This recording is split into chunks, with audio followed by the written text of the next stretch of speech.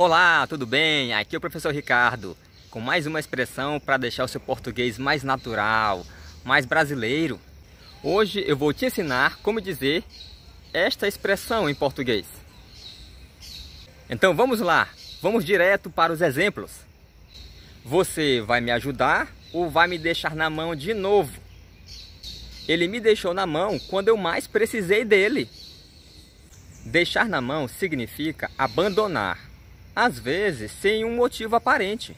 Vamos ver mais um exemplo para deixar isso bem claro. Imagine que você está dirigindo numa estrada no meio do nada. Então, de repente, você percebe que o motor do carro começa a falhar, começa a perder força. E nessa hora você diz a seguinte frase para o seu carro: Eu não acredito que você vai me deixar na mão agora. Que situação chata, não é? Isso já aconteceu comigo. Bom, pessoal, então essa foi a expressão de hoje. Você já conhecia esta expressão? Você tem alguma dúvida de como usá-la?